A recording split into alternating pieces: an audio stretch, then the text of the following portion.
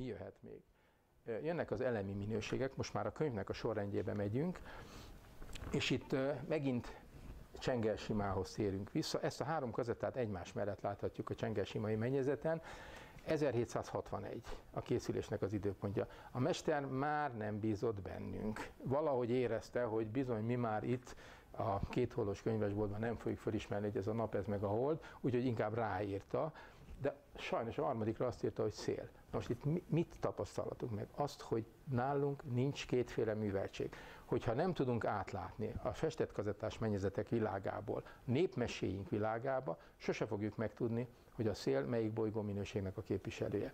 De ha ismerjük azokat a népmeséinket, és ilyenből sok van, hogy megy, megy, megy a mesehős, és bekopogtat a, a naphoz, útmutatást kér a nap, nem tudja eligazítani, tovább küldi a testvérjehez a holdhoz, azt se tudja, tovább küldi a szélhez. És ezekből a mesékből teljesen egyértelműen kiderül, ha végigolvasjuk őket, hogy ő bizony a Vénusz bolygónak a megfelelője.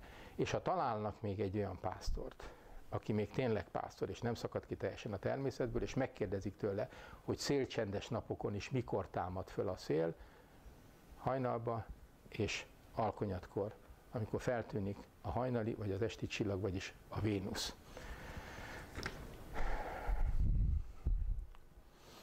És akkor jön egy olyan fejezet, aminek az a címe, hogy tudományosabb hangra váltunk. Kifejezetten Pap Gábornak a kérése volt, amikor elolvasta a kéziratot, hogy ezt fejtsem ki részletesebben, mert ez egy súlyos kérdés, és tulajdonképpen ennek a, a, az ő kérésére született meg ennek a fejezetnek az első másfél oldala, ugyanis ez a tudományosabb hangraváltás, ez nem csak tudományosabb hangot, hangraváltás, hanem szemléletváltást is jelent egyidejűleg. És pedig itt arról van szó, hogy elhagyjuk a Földet, már nem a Föld a, a vizsgálódásoknak az alapja, nem a Föld a mindenség középpontja, és persze ez kell ahhoz, hogy majd azok a képek, amik ábrák, amik majd most következnek a könyvben, ezek jól áttekinthetők legyenek, és hogy majd a precesszió jelensége is tudományos alapon magyarázható legyen, ugyanakkor rendkívüli veszélye jár. És nem véletlen az, hogy idestől a 460 évvel ezelőtt egy mindössze 26 éves fiatalember figyelmezteti a világot, hogy milyen következményekkel jár az, hogyha a Földet megfosztjuk a szakralitásától. Természetesen Bornemisza Péterről van szó, aki 1557-ben írja meg a Magyar Elakta című művét amelynek a főszereplője, legalábbis a háttérből a szálak mozgatója, az a parazitus, aki az ókori drámákban egyáltalában, az elektrákban egyáltalán meg sem jelenik. Ez Bornemisza Péternek a saját ö, kreációja, és hogyha a parazitus nem beszélő név, akkor nem tudom, hogy mi a beszélő név. Na most, amikor ő megírja ezt a drámát, akkor már közismertek Kopernikusnak a, a tézisei. És ezeknek az egyike tulajdonképpen itt leváltja Kopernikus, felváltja a, a,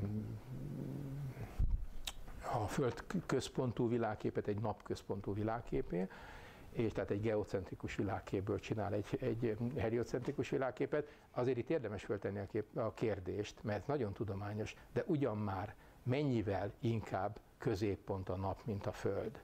Hát hogyha meglá- megnézik azt, hogy hol helyezkedik el az egész naprendszerünk, mondjuk a tejútnak az egyik karjába, akkor abban a pillanatban a kérdés már nevetségessé válik és fölöslegessé. De a lényeg az, hogy, hogy figyelmeztet rá, hogy vigyázat emberek, hogyha megfosztjátok a szakralitástól, és lefokozzátok a Földet a, a teremtés központjából a bolygók egyikévé, annak az a következménye, hogy az ember parazitává válik, és nem lát mást a Földben, mint egy tetszőlegesen kizsákmányolható, kizsigerelhető, kifosztható földdarabot. Na most látnok volt ez a Bornemisza Péter, sajnos senki nem figyelt a szavára, de tessék körülnézni, hogy hol tart ma a világ, hogy vajon találkozunk-e parazita minőségekkel. Hát erről itt ül kedves barátom Miklós János, aki egy egész könyvet írt erről, és hogy mivé vált ma a Föld és milyenné tette ez a parazita minőség a mi földünket. No, minden esetre, ahogy mondtam, ki kellett lépnünk azért a Földről, hogy így is lássuk a naprendszert. A könyvben azért odaírtam, hogy nem méretarányosak a távolságok itt, de itt gyönyörűen látszik, itt még a Pluto is szerepel, aki már 10 éve, 12 éve már nem tagja a, hét, a, a bolygóknak. És, és hogy lássuk ezt, szerintem ez egy ragyogó ábra, ez a, a, az állatöv.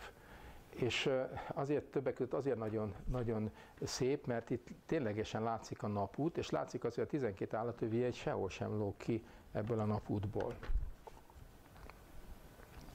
És kellett ez a kiruccanás, ez a kilépés azért is, hogy nagyon jól megértsük a, a precessziónak a jelenségét. Hát ez tényleg, ezzel az ábráról tökéletesen leolvasható, hogy mit jelent a precesszió, vagyis itt van a tavaszpont, ez a kospont, kos nullapontja, és ez szépen a Föld tengelyének a billegő mozgása következik, szépen, szépen egy hátráló mozgást végez, mert ez a tavaszpont, ez az ekliptika és az égi egyenlítő meccés pontjára fog esni. Na ez a ez a tudományos magyarázata. De hát azért ismerik, hogy ez egy kicsit bonyolult ábra, úgyhogy ha ténylegesen tudni akarjuk, hogy milyen hatása van a precessziónak, akkor most menjünk el Debrecenbe, most már együtt van a három kép. Egyébként Pap Gábor egy döbbenetes dolgot mesélt el nekem, erre jut eszembe. Nincs egy hete, hogy Debrecenbe tartott előadást, és ő mindig nem úgy van öltözve, mint én, hanem ő fekete öltönybe, fejéringbe, nyakkendőbe, és előadás előtt bement a Déri Múzeumba Pikó Sándor barátunkkal, hogy megnézzék a trilógiát.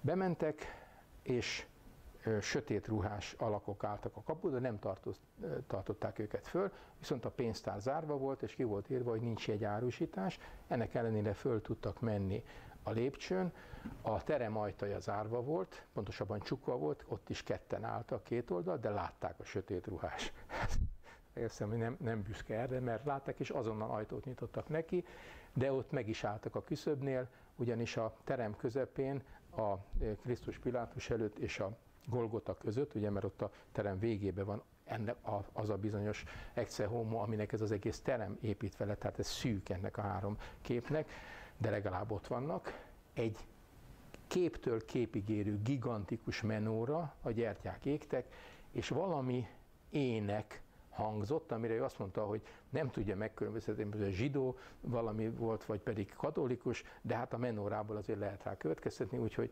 gyorsan becsukták maguk előtt az ajtót, és eljöttek onnan. Hát itt tartunk, de most viszont mi itt tartunk, mert a precesszióról akarunk valamit megtudni, egy, egy a legmagasabb művészethez tartozó festményről. Itt én arra kértem az olvasót, hogy, hogy ellentétben a precesszió jelenségével, ami nagyon tudományosan is ki van fejtve, ugyanakkor, de miért? Azért, mert nem várhatja el az ember, hogy elhiggyék, hogy ez így van, tehát ott, ott közlöm a tudományos leírását is, de azzal a könnyítéssel, hogy nem kell megjegyezni. De ha valakit érdekel, különösebben el akar mélyedni a csillagászat rejtelmeibe, akkor, akkor tanulja meg, olvassa el. De egyébként elég róla annyit tudni, hogy a precessziónak az a hatása, hogy a, a tavaszpont egy lassú hátálló mozgást végez a a, a horizonton.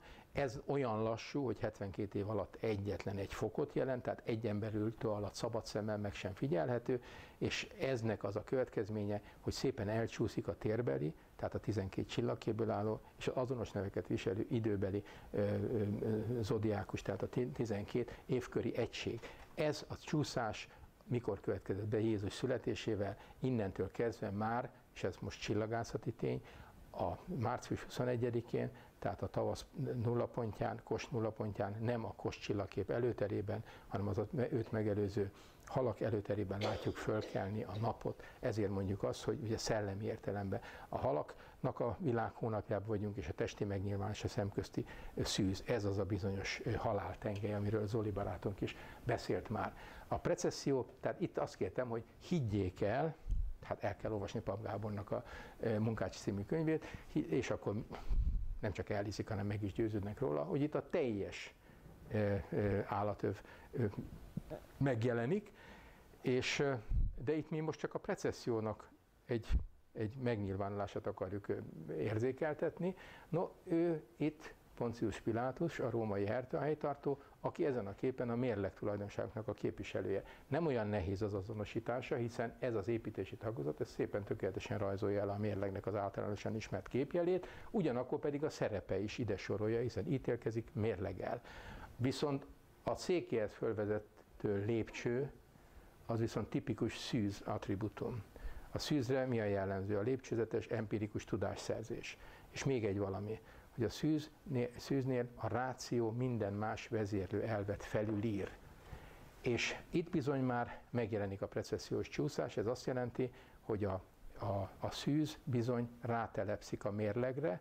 Mit, mit jelent ez ebben a jelenetben? Az, hogy ne is várjunk igazságos, pártatlan ítéletet, mert itt a ráció fog majd dönteni, vagyis a farizeusok és az írástudók. Tudják, hogy ártatlan Jézus, de veszélyt jelent a törvényre, az Ószövetségre, a, a, a zsidóságra, mármint a farizeusokra, úgyhogy meg kell halnia. Na ez a precesszió, ilyen művészi megfogalmazásban. És akkor még egy ugrás az állatövből kifele, ugyanis az állatöv az egy zárt rendszer.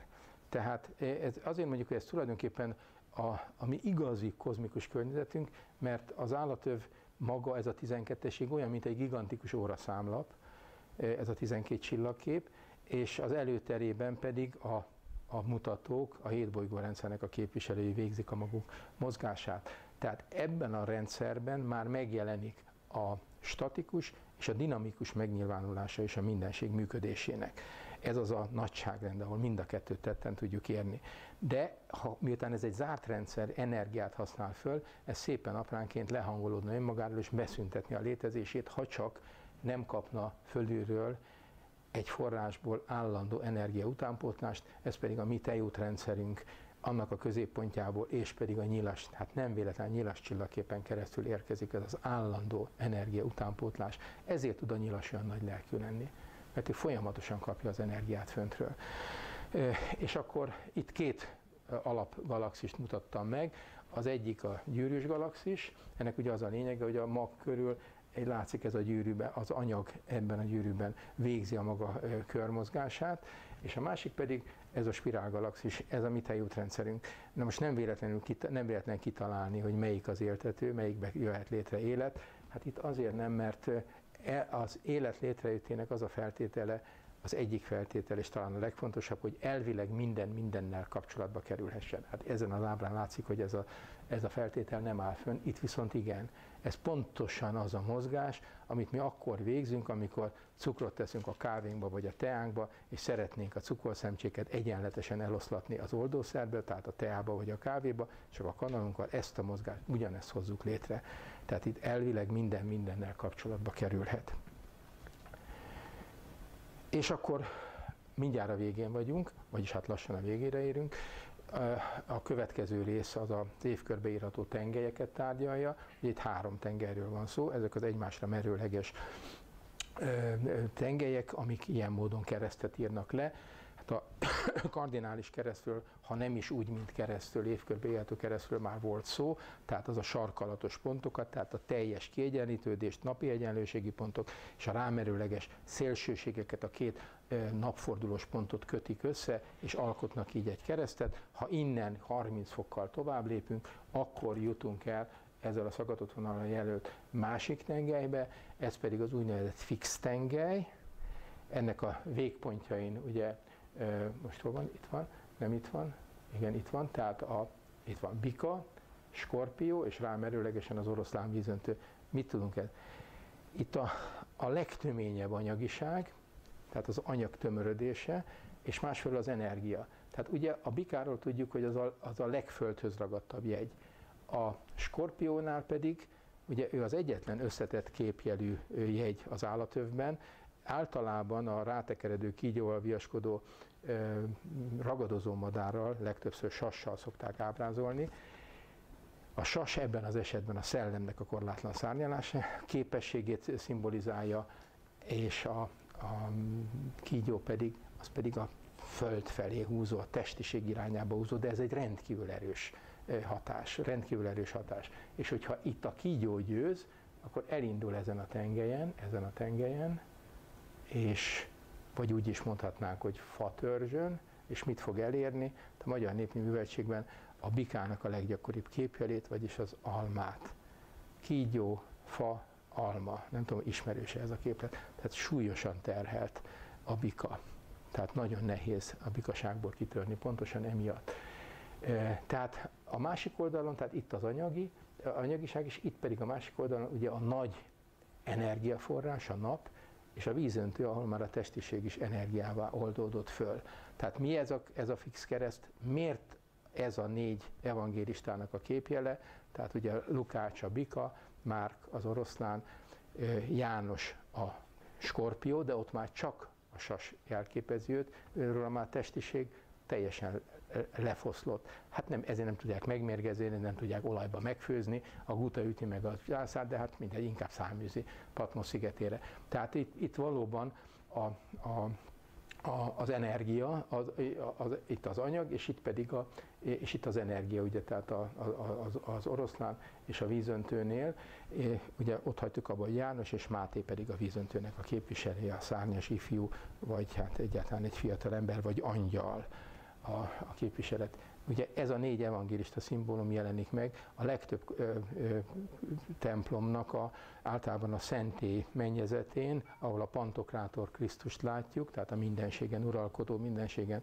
ítélkező Krisztust, és akkor a négy sarokban a négy evangélista általában a, a lábuknál ott van a, a jelölő állatuk, tehát Lukásnál a bika, Márknál az oroszlán, Jánosnál a sas, és Máténál pedig az angyal vagy szárnyas ifjú nem Jézusnak van szüksége rájuk, hanem nekünk, hogy fölismerjük, hogy Jézus ura az anyagnak és ura az energiának.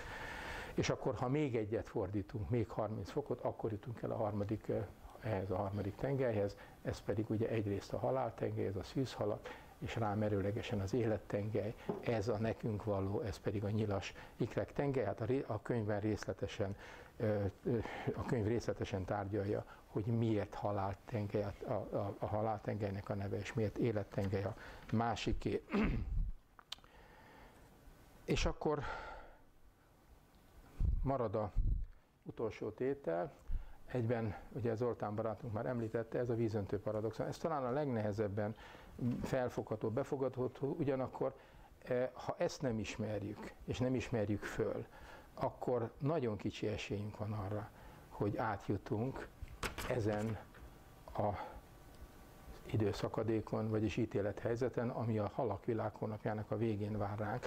A vízöntő paradoxon nagyon leegyszerűsítve úgy fogalmazható meg, hogy miközben, a, és ez igaz az égbolton is, tehát a vízöntő az egyetlen a 12 állatövi egy közül, csillagkép közül, amelyek nincs külön torta szelete az égboltba, hanem ráterül az őt megelőző, precesszióban megelőző halakra és az őt követő bakra. És azoknak az idő keretéből gazdálkodja ki. Azért mondják néha azt, hogy hát már benn vagyunk a vízöntő világban, milyen jó nekünk. Mert, és azért paradoxon, mert van is, meg nincs is.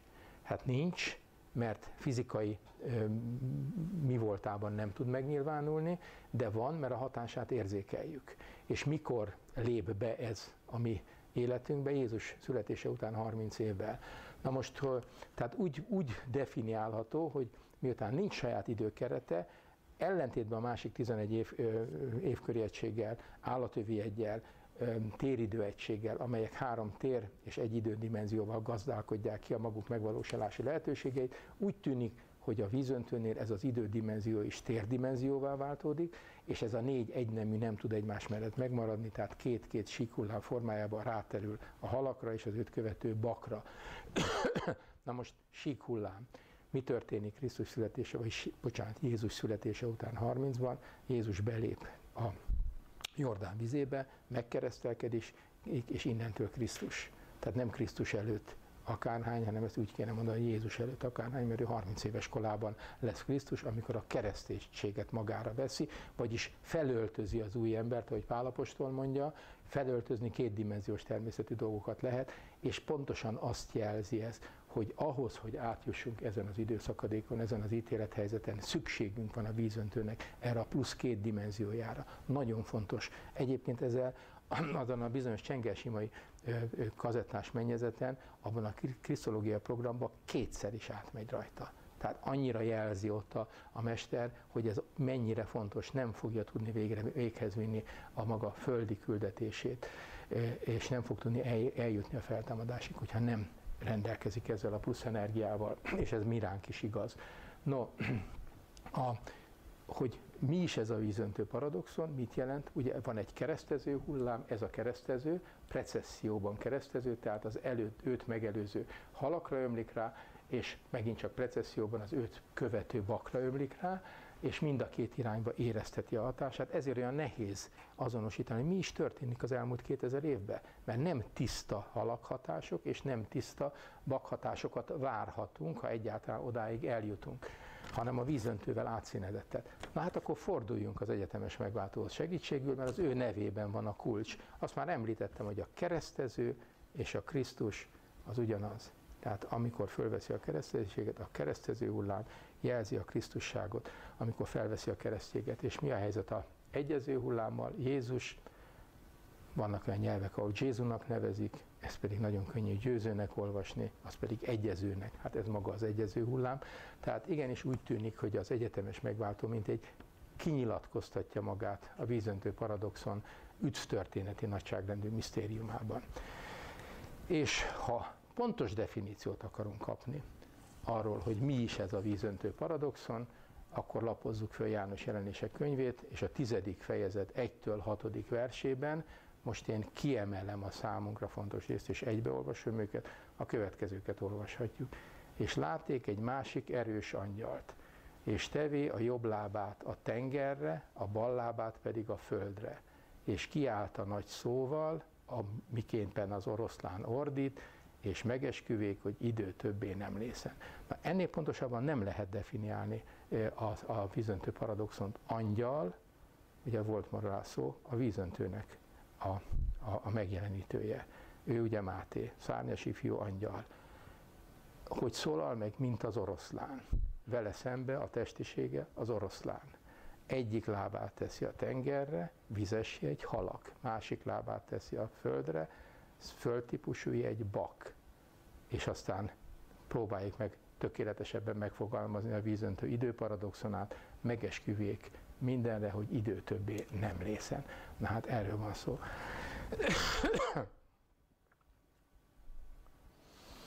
és akkor a könyvben még természetesen a vége felé közeledve definiálni kell, hogy mi is az a bizonyos csillagmitoszi keretrendszer, amit én az előbb már megtettem, egy kicsit előrehozva, és hogy mit jelent a szerves műveltség, ezt is megtettem a, a szövegem elején, hogy tudnék a legfontosabb jellemző, hogy egyetlen sejtjéből a teljesség újra, újraépíthető. És akkor van egy olyan fejezet benne, és erre csak is kizárólag azért érek ki, mert rájöttem arra, hogy ez esetleg félreérthető lehet, és senkit nem akarok megbántani. Ennek a fejezetnek az a címe, hogy önmegvalósítás vagy önfeláldozás.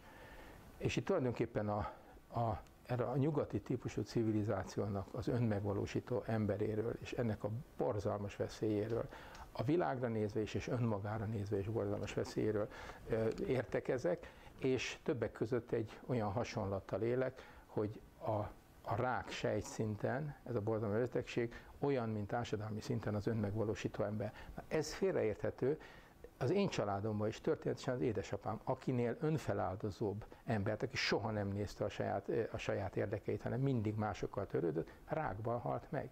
És akkor az ember azt mondja, hogy akkor hogy lehet? Hát azt mondtuk, hogy a rák sejtszinten olyan, mint az önmegvalósító ember társadalmi szinten. Igen ám, csak elfeledkezünk arról, hogy amikor mi megszületünk, akkor nem csak XY-nak születünk, aki majd a kiséves 365-366 napos kisévben fogja morzsolgatni a maga életét, hanem egyidejűleg egy nemzet gyermekének is születünk. Ez egy másik nagyságrend. 25.920 kisévből álló ö, nagy precessziós világév. Ebben mi nekünk, mint magyarnak kell végrehajtanunk a feladatunkat, észre se fogjuk venni, mert ez egy villanás összesen, de mégis meg kell tennünk. És, és ilyen módon, mint magyarnak, igenis, hogy vállalnunk kell azokat a bűnöket is, és azoknak a következményeit, amit egyénként nem követtünk el. Na ez így ezzel a kiegészítéssel tessék érteni, hogyha valaki idáig eljut az olvasásból. A másik pedig a joga. Hát mi, ma már mindenki jogázik. Tehát a hídon ülnek, a parkba ülnek, a szögőkút körül ülnek, egyre többen ülnek, és, és állítólag ez egy, ez egy elmélyülő valami, aztán közben, közben kiderül, hogy tömegeket mozgatnak meg. Ez, ez tulajdonképpen a kollektív magány, azt lehet mondani, a kollektív magány, de viszont van azért ennek egy nagyon-nagyon-nagyon jól irányított, vagy irányító felső része, akik nem véletlenül hülyítik ebbe bele a elnézés a kifejezésé. Az én családomban nagyon sokan vannak, tehát a felmelő, nagymamám rendszeresen jogázott, a nagybátyám máig jogázik, 85 éves, a, a, a menyem jogaoktató, tehát éppenséggel én nagyon jól tudom, hogy mennyire jótékony hatása a joga a testnek. Én itt csak azt mondom ebbe a könyvbe, hogy nem nekünk való a hozzá kapcsolt ideológia. Mert azt egyrésztről a, a kasztrendszer, másrésztről pedig a karma mindenhatósága köti gúzsba. Ez pedig nem egyeztethető össze a Krisztusi tanítással. Nekünk pedig, és akkor most 23. János pápától idéznék, aki ugye 1962-ben a második vatikáni zsinat megnyitóján mondott beszédébe, ez volt az utolsó mondata, miért nem elég nekünk Jézus az Isten fia? Hát ő ott arról értekezik, hogy mi a fenének nekünk az Ószövetség. De ez az utolsó mondat. Hát miért nem elég nekünk Jézus az Isten fia? Minek nekünk idehozni azokat a azokat a nem nekünk való ideológiákat. És nem véletlen, hogy néhány évvel ezelőtt, június 21-ét, nem tudom, tudják-e, az egész nyugati világban, de az egész világon a joga világnapjának minősítették. Vagyis az önfeláldozó szeretet, a csúcsra járatódásának a napját a teljes önzésnek a napjával azonosítják. Mert valahol egyébként az, amikor én csak én, én, én meditálok, meditálok, megvalósítom önmagamat és mindenki le van ejtve körülöttem. Na hát ezek nem véletlenek. Én csak ez ellen kellek ki, és nagyon tisztelem azokat, akik jogáznak, mert tudom, hogy egészséges. De ne kapcsoljuk hozzá a filozófiát. És akkor egy maradt még hátra, ez a bizonyos második rész, ez a kérdésekre adott válaszok, és ez ez a könyvnek átsóborítva, hogy már megnyugodjanak, mert tényleg a vége fele járunk.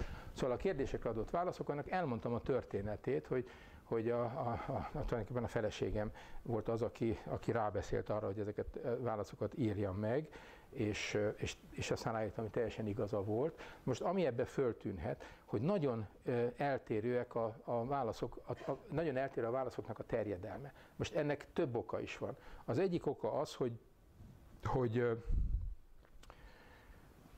vannak olyan kérdések, és ugye ezek ötletszerűen jöttek, tehát ezzel nem spekuláltam, tehát vannak olyan kérdések, amelyek megválaszolásához a könyvnek az első 80 oldala minden ismeretet már tartalmaz. Tehát elvileg meg tudnánk válaszolni. Nem biztos, hogy meg tudjuk.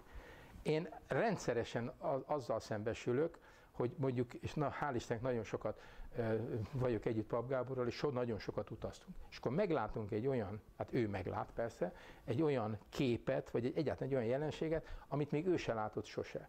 És akkor elkezdi nézni, és akkor nem kell zavarni, és egy idő után elkezd róla beszélni. És akkor üt meg engem a guton, mondom neki, Gábor, mindent tudok, ami ahhoz kellett volna, hogy ezt most én mondjam el, és mégse én mondom el. Szóval ezért, ezért nem kell megijedni akkor, hogyha amikor, amire azt mondtam, hogy minden tud, tud, ismeret már benne van a könyv első részében, tehát meg lehetne válaszolni mondjuk olyan kérdéseket, hogy, hogy miért hátrálva kérezkedik be a farkas a kismalacnak a házába, és egyáltalán miért tud a malac fára mászni, vagy miért nem ölik meg az óriások Ján vagy kukoricáncsét, amikor megöli a királyukat. Ezek mindent, mindent tudunk már róla, de még nem biztos, hogy meg tudjuk válaszolni, de ez ne vegye el senkinek a kedvét. Szóval vannak ezek azok a kérdések, amik nem igényeltek olyan hosszas kifejtést. Aztán vannak olyan kérdések, ezek elsősorban történelmi, illetve nyelvi kérdések, amik viszont nincsenek megalapozva a könyvben, mert nem csillagmitoszi keretrendszerben fogalmazódnak. Ezek nyilván hosszabb kifejtést igényelnek. A legterjedelmébe kirívóan a, leghossz, a legnagyobb, ez a Szent Lászlóra vonatkozó. Itt egyszerűen nem tudtam megállni, hogy, hogy, hogy, hogy rövidebbre fogja, mert úgy érzem, hogy ma nekünk ez a legfontosabb, hogy tudjuk azt, hogy nekünk, számunkra mit üzen Szent László, aki mindig visszafordul, de soha nem téveszti szem elől a célját, az pontos, ez csak olyan ember tudja megtenni, hogy nagyon határozottan tudja, hogy mi a célja és hova kell eljutnia, de ő mindig visszafordul, amíg még van segítségre szoruló. Hát ezt kéne nekünk gyakorolni, tehát ez a Szent Lászlói üzenet és példa, tehát hogy meg lehet valósítani a Krisztusi példát meg lehet valósítani ebbe a bőrruhába is. ezt üzeni Szent László nekünk. Tehát ez azért olyan hosszú, és aztán van olyan kérdés, ami, ami tényleg csak ismertetés szinten lett kifejtve, ez pedig a zenei kérdés. Ez a, a, a kromatikus skálának és a, a céloktiszi skálának, illetve a, a fekete pentatóniának a, a kozmikus minőségekkel való, tehát az, ég, az állati jegyekkel való kapcsolatát. Ez az úgynevezett Márius Schneider féle szisztéma, amit Pap Gábor korrigált. Ezt csak ismertetés szinten, tehát melyik hang minek felel meg, és a többi, és a többi.